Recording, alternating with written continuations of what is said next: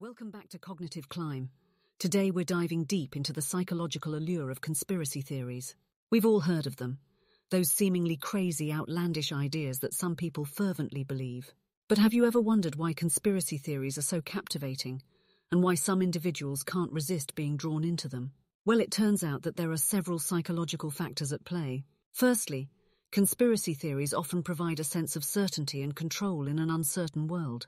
They offer an explanation for events that might otherwise seem random or chaotic. People are naturally inclined to seek patterns and connections, and conspiracy theories provide just that. Additionally, conspiracy theories appeal to our innate skepticism towards authority.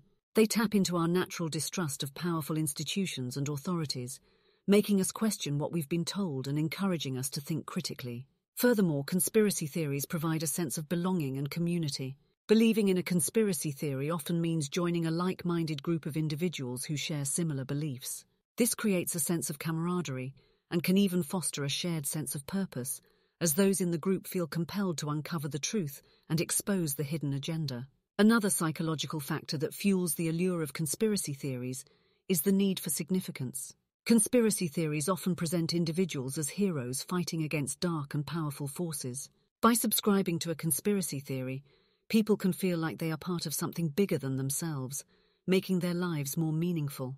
Another interesting aspect is the backfire effect.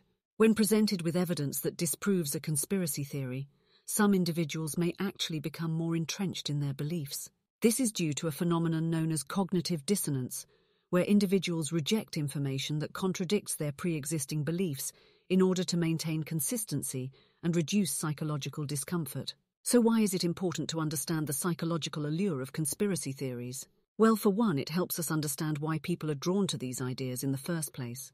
By understanding the psychological factors at play, we can address the underlying needs and concerns that fuel belief in conspiracy theories and potentially help individuals develop a more nuanced understanding of the world. Additionally, understanding the allure of conspiracy theories can also help us navigate the complex landscape of information and misinformation.